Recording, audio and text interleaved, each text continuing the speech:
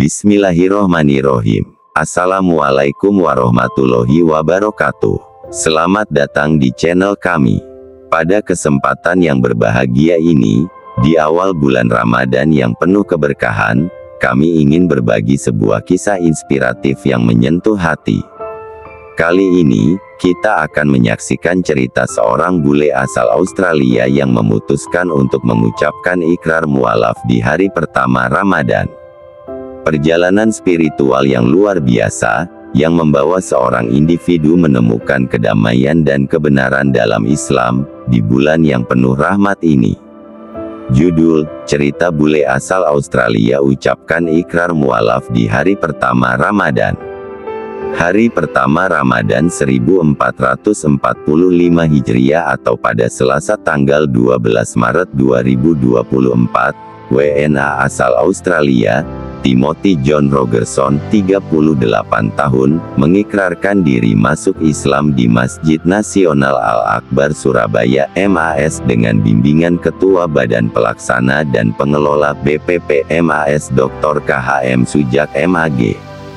Dengan kesadaran sendiri, saya menyatakan memeluk agama Islam dengan asyhadu alla ilaha illallah, wa asyhadu anna Muhammad Rasulullah, ujar pria kelahiran Canberra, Australia, pada tanggal 30 Agustus 1986 itu.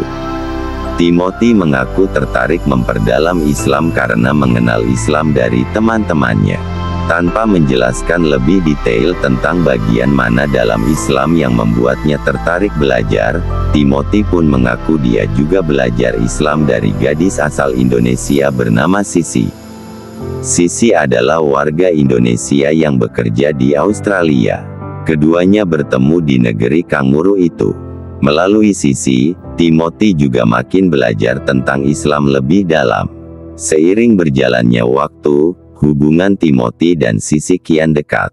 Bahkan Sisi dan Timothy akan melangsungkan pernikahan dalam waktu dekat ini. Sehingga Sisi mengajak saya bersilaturahmi ke pengurus Masjid Al-Akbar untuk menyampaikan niat saya menjadi mualaf itu, tukas Timothy.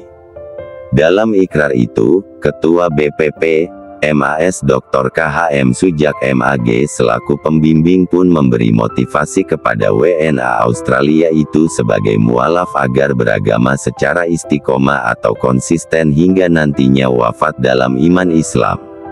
Acara ikrar mualaf itu disaksikan dua orang saksi yakni Rizkia Desiye dan Ida Apriya Hanani. Dari pihak MAS, selain Ketua BPP, MAS, juga hadir Sekretaris atau Humas MAS, Haji Helmi M. Nur. Allahu A'lam Bisawaf. Kisah ini mengajarkan kita tentang kebesaran dan kasih sayang Allah Subhanahu wa Ta'ala, yang membuka pintu hidayah kepada siapa saja, tanpa memandang latar belakang atau asal-usul. Ramadan, bulan suci penuh berkah, sering kali menjadi momen transformasi bagi banyak orang, mengingatkan kita tentang kekuatan iman dan keajaiban yang bisa terjadi ketika seseorang membuka hatinya untuk menerima cahaya Islam. Subhanallah, semoga kisah ini dapat menjadi sumber inspirasi bagi kita semua untuk terus memperbaharui niat dan memperkuat iman kita, terutama di bulan Ramadan ini. Terima kasih telah menyaksikan, semoga kita semua mendapatkan keberkahan di bulan yang suci ini. Wassalamualaikum warahmatullahi wabarakatuh.